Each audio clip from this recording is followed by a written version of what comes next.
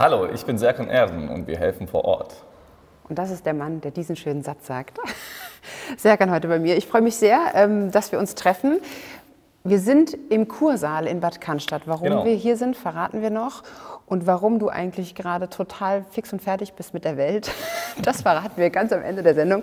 Erst möchte ich dich fragen, wenn ich dir jetzt 5 Euro geben würde, was würdest du damit machen? Ähm, ich glaube, ich würde mir äh, ein kühles Bier kaufen. Ehrlich? Dann würde ich mich den Fernseher setzen, ja. Ich hätte jetzt erwartet, du sagst, ich würde es spenden.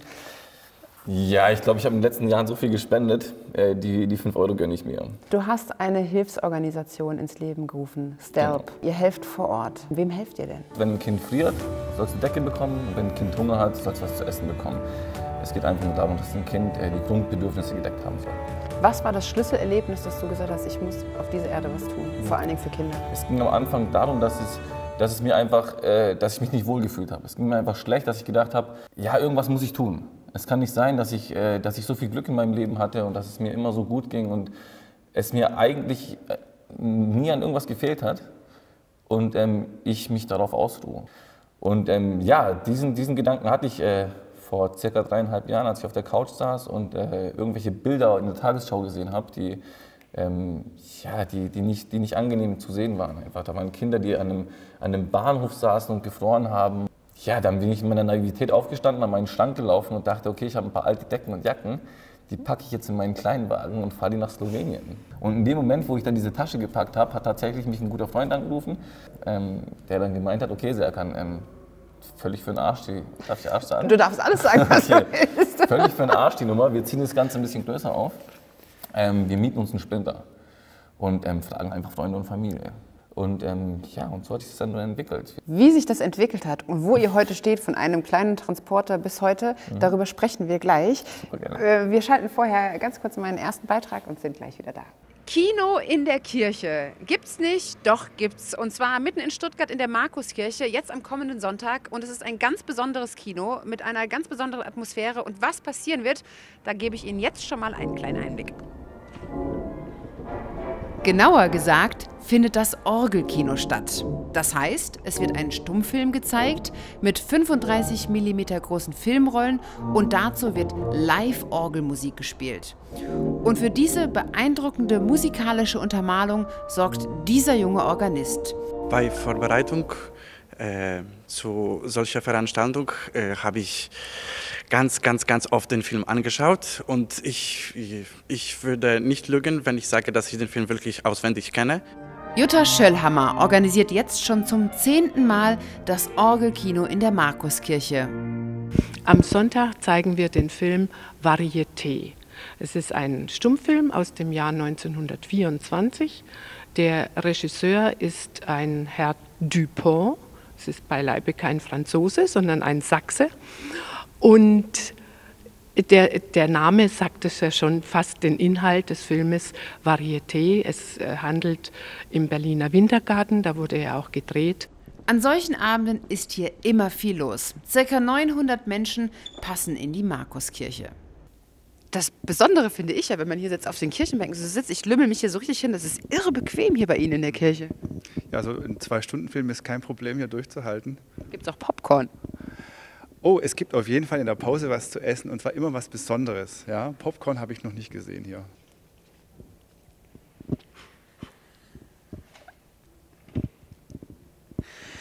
Ja, meine lieben Damen und Herren, das ist ähm, Jörg Eckstein ähm, in der Trockenübung, weil du bist eigentlich der Mann mit dem 35 mm Filmprojektor und solltest den hier heute in die Kirche bringen. Was ist passiert? Warum ist er nicht da? Unser Auto hat die Grätsche gemacht und will nicht anspringen. Deswegen ist der Projektor im Auto und ich habe hier einen Phantomprojektor, den ich bedienen muss. Beschreib den mal, wie sieht das Ding aus, wenn man am Sonntag hier in die Kirche kommt? Ähm, es ist ein italienischer, äh, tragbarer 35 mm Projektor von Veronese. Ähm, wiegt seine 40 Kilo und ist sehr schön orange-grün. Es kommen zwei große Filmrollen oben drauf und vorne läuft das Band durch die ganze Apparatur durch. Ähm, vor der Maske vorbei, vor der Flügelwände vorbei und von hinten strahlt Licht durch den Film und projiziert das äh, auf die Leinwand. So hat das vor 120 Jahren funktioniert, so funktioniert es heute. Ja, und wenn wir schon bei Ihrer Vorstellungskraft sind, bleiben wir dabei. Hier müssen Sie sich vorstellen, vor dem Altar steht diese riesengroße Leinwand, auf der der Stummfilm produziert wird. Und ich sage Ihnen, am Sonntag wird definitiv nichts schiefgehen, weil da haben wir ja immerhin Gottes Beistand. Und wir sind zurück mit Serkan. Er hat die ähm, Hilfsorganisation ähm, STELP, Supporter on Site, gegründet. Du hast damals mit dem Transporter, hast uns erzählt, angefangen, Decken rein, los ging's. Wo bist du heute? Immer noch bei deinem Transporter an den Decken? Und mittlerweile äh, ist es dann wirklich von Projekt zu Projekt äh, zu einer internationalen Hilfsorganisation geworden. Wenn du dann vor Ort bist, hast du irgendein Erlebnis mit irgendeinem Kind, was du mir mal erzählen kannst, wo du sagst, oh, da habe ich echt Gänsehaut bekommen? Boah, da gibt es unzählige. Also es ist, ähm Aber an welches denkst du gerade jetzt als allererstes? Also an die Philippinen zum Beispiel. Ähm, als ich zum ersten Mal auf dieser Müllhalde war, ähm, da, da versorgen, wir, versorgen wir Kinder, die ähm, auf, einer, auf einer Müllhalde leben, die sich vom Abfall ernähren. Und ähm, es ging fünf Minuten, da war ich an diesem Ort und habe ähm, ein kleines, sechs-, siebenjähriges Mädchen gesehen, die wirklich völlig auf sich allein gestellt war. Ähm, und eine, eine, aus einer alten Fischkonserve, die wirklich schon verschimmelt war, ähm, die, Reste, ähm, die Reste gegessen hat. Also es war, ähm, ja, war, war nicht schön. Wenn du solche Eindrücke mit nach Hause nimmst, ich frage mich, wie kommt man dann hier in diesem Konsumalltag überhaupt noch zurecht? Also ich weiß, als ich von meinem ersten Einsatz zurückkam, ähm, habe ich mich zwischen äh, Schlossplatz und kleiner Schlossplatz an diese große Treppe gesetzt mhm. in Stuttgart. Und es war Samstagmittag und ich habe diese ganzen Leute gesehen mit ihren Einkaufstüten. Und es war, ein, also es war für mich ein Gefühl, als ob das wirklich auf zwei verschiedenen Planeten mhm. passiert ist. Ich meine, es sind zweieinhalb Stunden Flug, äh, Flugzeit entfernt. Ähm, es ist total verrückt. Umso mehr ich so höre, umso mehr denke ich so, Chapeau. Wir quatschen Danke. gleich noch weiter und klären mal auf, warum wir im Kursaal sind, ähm, was du hier vorhast und warum du eigentlich seit ein paar Wochen schlaflose Nächte hast. Das alles gleich nach der Werbung, also dranbleiben.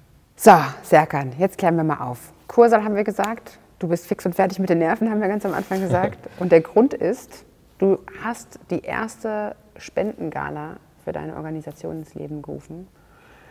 Und das ist eine Wahnsinnsaufgabe, gell? Wir haben ja keine Erfahrung damit. Also es ist äh, eine Spendengala, die äh, vollkommen von Ehrenamtlichen auf die Bühne gestellt wird. Da ist keine Eventagentur oder sonstiges, äh, Entschuldigung, im äh, Hintergrund, die da irgendwie äh, die Arbeiten übernimmt. Nee, wir haben alle keinen Plan. Von A bis Z mussten wir uns in dem letzten Jahr alles beibringen. Und äh, das ist der Grund, warum ich ziemlich müde bin aktuell.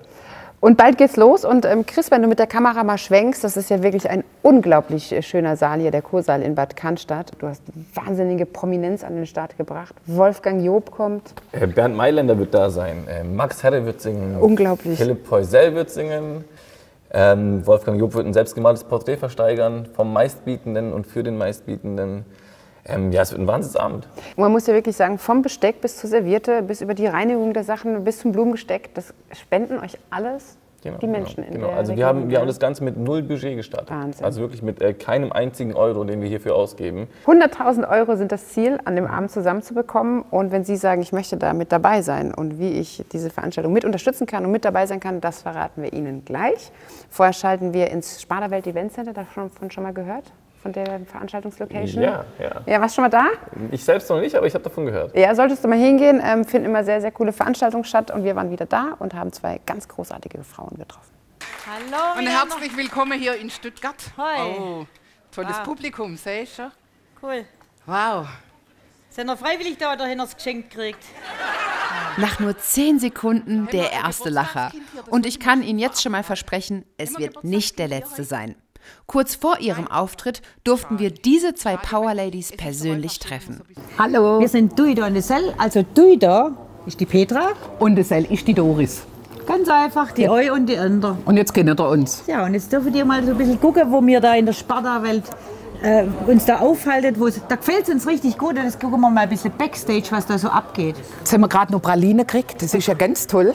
Die beiden Kabarettistinnen lassen es sich nicht nehmen, jeden, der an diesem Abend mitarbeitet, persönlich zu begrüßen und zu küssen. Ja, und dann wird nochmal geküsst und nochmal und dann treffen wir auf die Familie. Mein Bruder dazu gucken mit seiner Freundin. Das ist mein Dieter. Und während die zwei schon mal hinter der Bühne verschwinden, schnapp ich mir noch mal kurz den Mann und den Bruder, um kurz mit denen zu plaudern. Ja, keine Sorge, wir treffen die zwei natürlich gleich wieder. Wie ist es so, dabei zu sein und die eigene Frau auf der Bühne zu erleben? Die Witze über einen macht. Ja, das äh, ist manchmal schwierig, äh, weil ich die Witze vorher nicht kenne. Ähm, das sind ja Witze, äh, eigentlich gar keine Witze, sondern äh, Stories, die das Leben schreibt. Und äh, da bin ich manchmal selber überrascht, was sie so alles an mir findet oder an mir schlecht findet, gut findet, wie auch immer. Und als Kind, du bist ja ihr Bruder, war, war, sie schon immer so witzig und so frech und so powermäßig, wie sie wirkt? Ich musste als Bruder viel leiden, ja. Ja, und jetzt schnell zurück zu Petra und Doris. Rein und in Unsere diesem Garderobe. Räumchen richten wir uns, ziehen wir uns um, halten wir uns auf, Ja. machen doch alles, was zu machen ist. Der letzte was- Feinschliff. Wir sind ja jetzt wirklich kurz vorm Auftritt. Seid ihr wirklich so tiefenentspannt? Ist da, ist da gar keine Nervosität? Also nach außen hin, aber innerlich sieht es schon ein bisschen anders das Licht aus. hier drin so schlimm. Ich finde das Licht hier drin so schlimm. Ich werde jetzt nervös. Das Licht ist so schlimm hier drin. Bitte, bitte, mach das Licht aus oder lass uns woanders hingehen. Ja, und dann. Seit 18 Jahren stehen die beiden Frohnaturen zusammen auf der Bühne. In diesen Jahren ist eine enge Freundschaft entstanden. Und hier haben wir jetzt die Aufgabe, dass wir unsere Bühne jetzt für das heutige Programm hinrichten. Das ist ja, wir spielen ja vier unterschiedliche Programme. Und jedes hat ja ein bisschen andere Utensilien. Genau, Aber eines haben alle Programme gemeinsam. Sie sorgen dafür, dass man wirklich eine gute Zeit hat und einen Abend mit sehr, sehr viel Lachen verbringt. Weil wir haben nichts an die Haare herbeigezogen. Bei uns geht es einfach, wie es bei jedem daheim zugeht. Mann, Kinder, was alles passiert. Ganz arg viele Leute gehen heim mit dem Wissen, Mensch, Kind, bei dir ist es genauso wie bei uns. Jetzt geht's gleich los. Das heißt, wir zwei ziehen uns jetzt zurück. Wir gehen ein bisschen pudern. Nägel pudern und ein bisschen Lippenstift auftragen. Und uns ein bisschen vorbereiten Genau. mental Genau. auf den Weil Auftritt heute. demnächst gehen die Tür auf und da kommen ziemlich viele Leute, weil wir haben ausverkauft. Bis später. Bis später. Das ist doch ein blödes Geschwätz, oder? 5000 persönliche Freunde, wenn man das so vorstellt. Facebook. Stell dir mal vor, Doris, auf dich kommt jemand Wildfremdes zu und zeigt dir immer wieder mal ein Bild von seinem Hamster. Und erzählt dir den ganzen Tag, was er zum Essen gemacht hat oder was er noch trinkt. Da denkst du doch, der hat einen in der Klatsche, oder? Was? Oder andersrum, stell du dich mal zu fremden Leuten an, die du nicht kennst, die sich gerade unterhalten.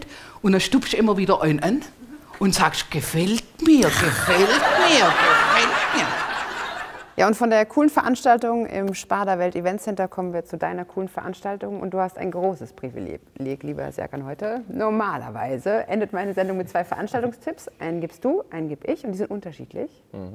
Heute sind es die gleichen. Wo sollte man unbedingt hingehen, lieber Serkan? Da müsste ich jetzt mal überlegen.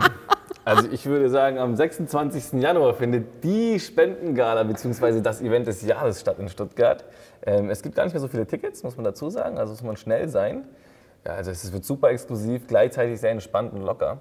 Ja, und mein Tipp ist, ähm, am 26. sollten Sie unbedingt in den Kursaal kommen. Da findet die erste Step Spendengala statt. Das ist echt ein Knaller. Äh, wir werden natürlich mit Puls auch vor Ort sein und ganz exklusiv ähm, den ganzen Abend darüber berichten. Und ähm, vielen, vielen Dank für den Einblick, den du uns gegeben hast. Ich wünsche dir ganz viel Erfolg, dass das alles so weitergeht und noch mehr Dank. expandiert. Dankeschön. Und ähm, ja, wir sehen uns dann nächste Woche wieder und bis dahin eine gute Zeit und tschüss.